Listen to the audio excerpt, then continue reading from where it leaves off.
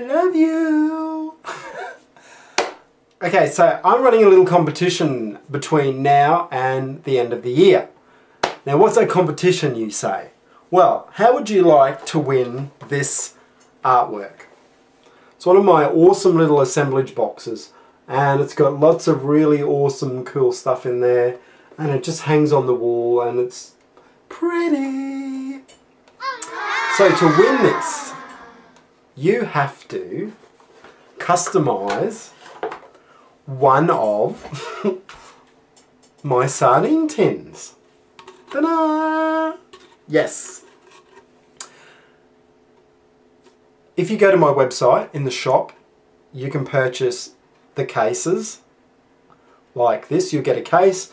Uh, I've cut the wing shapes out. I've covered them in um, copper tape. I've uh, sprayed them with rust solution and then I've sort of blow torched them a little bit and um, you know they will age even further. The uh, the uh, because it's copper, the patina will start to come out more because I've added this rust solution, so that the wings will really start to age, and they'll end up looking something like I don't know if you can see these wings here. They get this really nice greeny, coppery patina.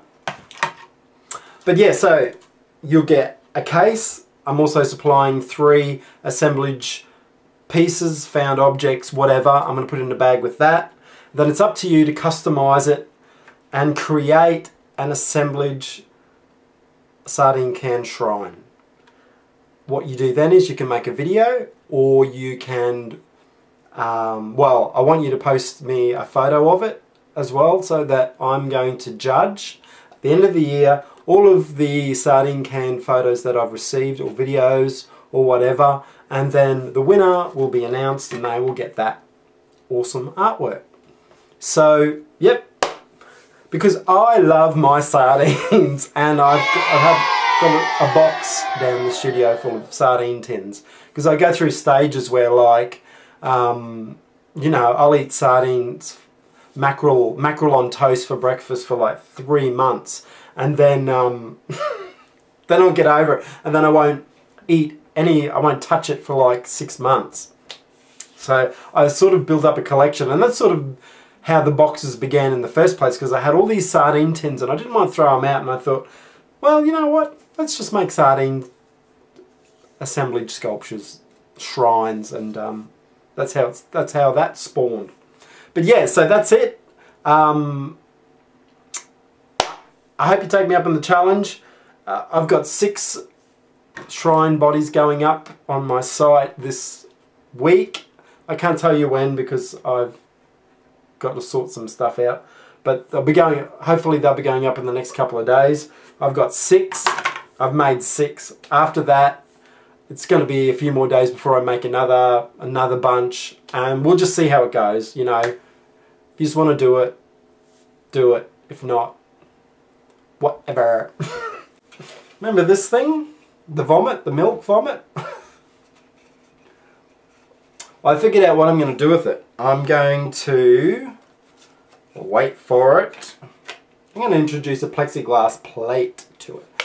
And I particularly like this one with the the uh, skeleton and the bits and pieces so I'm actually going to attach it on to this artwork but just because I like it I think the colours go really nicely together so that's the plan I don't know where I'm sticking it yet but um, um, I'll stick it somewhere.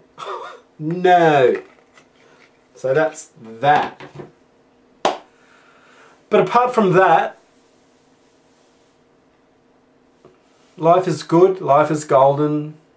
Let's make love in the back of a Holden. No, you're wrong.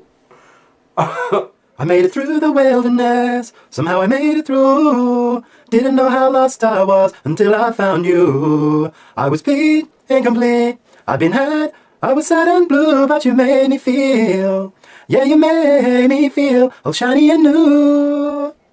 Like a virgin, touched for the very first time. Like a virgin, when your heart beats next to mine. Whoa, whoa, whoa. I'm gonna give you all my love, boy. My fear is fading fast. Been saving all for you, cause only love can last. You're so fine, and you're mine. Make me strong. Yeah, you made me bold. Oh, your love thought out. Yeah, your love thought out what was scared and cold. Ooh, ooh, ooh. You're so fine, and you're mine. I'll be yours until the end of time, cause you made me feel. Yeah, you made me feel I got nothing to hide. Like a virgin. Ooh, ooh, like a virgin. Feels so good inside when you hold me and your heart beats and you love me. Oh, oh, whoa. Alright guys, that is it. I've had a big day today. Uh, there was a calf born this morning and it was born breech, which was dramatic. Oh, so it was like I had to call the vet and then vet came and it was like it's like he was there for an hour trying to turn it around but it was just too big and it had come out too far and so then there was like three of us and we ended up having to pull it out and, but I'm happy to say calf mother are doing fine. Although looking at her back end it don't look fine to me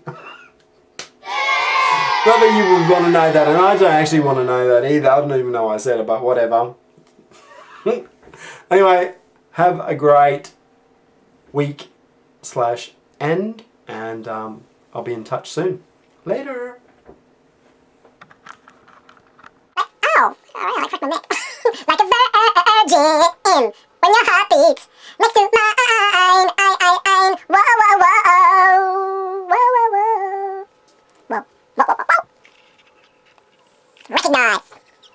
Let's recognize. There's nothing I have is true.